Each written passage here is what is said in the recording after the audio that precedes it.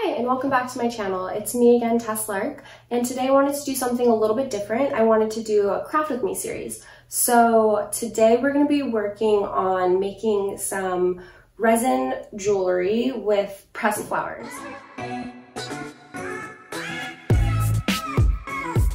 This project's really fun because you can kind of use whatever flowers you want to, you can get whatever pendants you want to, you could throw little bones or seashells in there. The, the possibilities are endless. It's really just up to you what you want to create. So what we're going to need for our project today are these little blank bezels. Bezel trays, you can search for, um, find them at pretty much any craft store or Amazon has a lot of them. And so I've got a couple different um, bezels here. I've got two for necklaces and then I've got four ring blanks. And it's just important that they have like a little lip on the side of them so you can put something in there and kind of fill it up with resin without it spilling over. Next, you're gonna need some sort of dried flower. I'm using rosemary today. And just a quick side note, there's a couple different ways that you can press flowers. Um, there's a traditional way of putting it in a flower press. You can also take a couple very heavy books and some wax paper or parchment paper and just set the flowers in between the pages, in between the wax paper and leave it alone for a couple days or weeks. Or you can use something that is called um, uh, like a microwavable flower press. And this is a Microfleur and it was actually a gift from my boyfriend and I love it. I, I I think it's uh, very convenient to do it this way and you know you it's a little bit tedious because you're kind of having to check on the flowers a lot. Like you just put them in for like maybe 15 seconds, check, 10 seconds, check. I think that the results are really nice. And I also think that drying the flowers quickly helps to preserve some of the color. So um, yes, I believe we got this on Amazon as well. I went ahead and painted the backs of my bezels just white because I like the contrast uh, with the rosemary. But again, you can choose whatever color you want. I tend to use a lot of black if I'm working with baby's breath, but the sky's the limit. So we've got our pendants, we've got our flowers. We're also gonna need glue and a toothpick. I'm out of toothpicks, so I'm using some wire. You'll need a popsicle stick, a small measuring cup, something to mark it with, and then you're gonna need resin. So this is the Art and Glow casting and coating epoxy resin, and I've had really good results with it. I used ice resin for years and had great results with that as well. Um, this is just what I have on hand right now, so that's what I'm using. I also really highly suggest using some wax paper that you can put down on your surface of wherever you're working on so you don't get glue or resin on your desk or table um, or whatever. So let's get started. First thing that we're gonna need to do is kind of decide how we want the flowers to be composed within the pendant.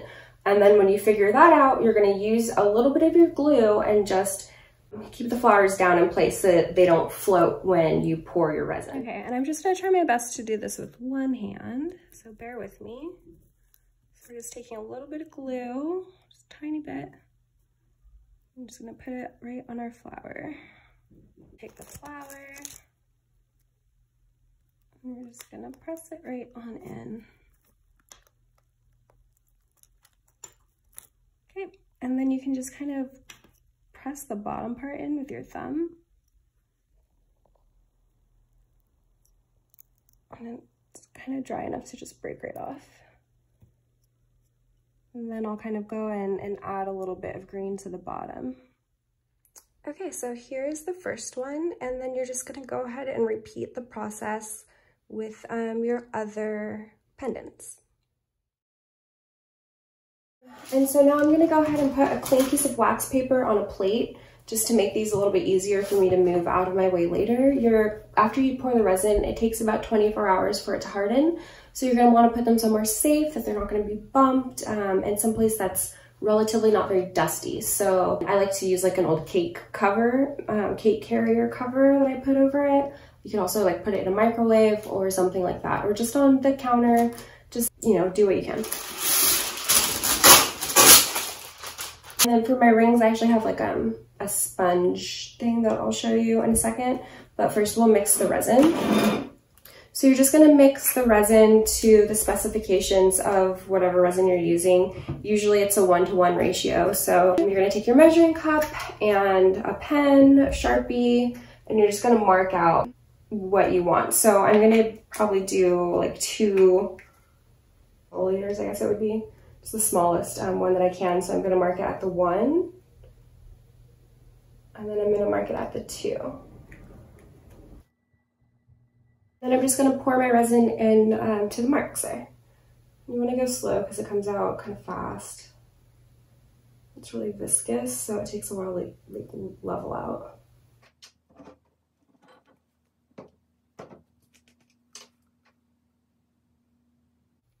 So you can kind of see how the two are separated from each other.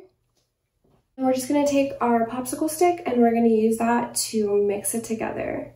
But um, kind of want to go slow and really scrape the sides and the bottom. You don't want to go too fast. What you're trying to do is minimize the amount of air that gets in there because you don't want to have air bubbles in your finished piece. Fewer air bubbles, the better. And then usually they say that you should mix it, I think, for about two minutes. Um, and if you're liking this video so far, uh, don't forget to give it a like and let me know in the comments. Also, make sure that you're subscribed to my channel so you can see when I post new things. I'm trying to post weekly. Um, doesn't always happen, but I'm hoping to get better at it. Okay, so this is pretty much all set. I'm gonna let it sit for about five minutes just to let all of the little air bubbles kind of come up to the top. Another thing that I like to do is kind of use my breath and that pops a lot of the surface bubbles. A little tap. And then, so like I said, I'm just gonna let it sit for like um, three to five minutes. Okay, and then for my rings, I just have this little styrofoam block. I kind of like made slits in to put the rings in so they can stand up. So the resin should be set up by now, so let's go ahead and start pouring. All right, and you're just carefully gonna pour the resin into the bezels. Again, take your time because it kind of expands.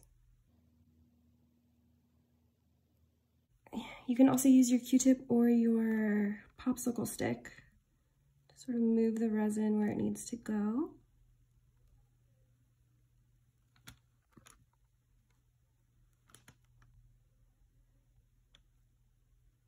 Get some down here.